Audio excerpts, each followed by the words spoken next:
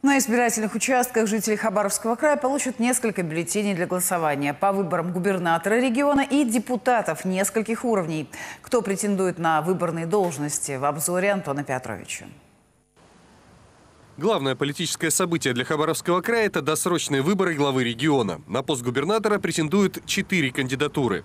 Первым в избирательном бюллетене стоит кандидат от партии ЛДПР Михаил Дегтярев. Далее в алфавитном порядке идет Марина Ким. Ее выдвинула партия «Справедливая Россия. Патриоты за правду».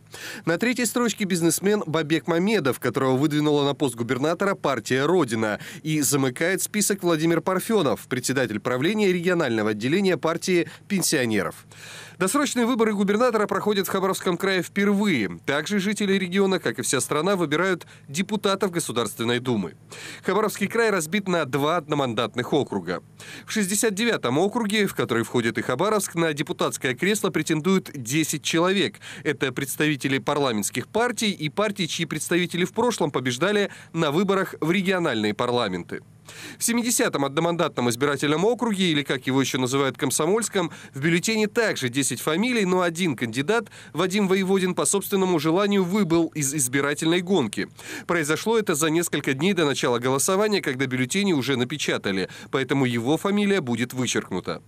При выборе депутатов по одномандатным округам избиратели голосуют за конкретного человека, но при этом будет выдан еще один бюллетень. Это голосование по партийным спискам.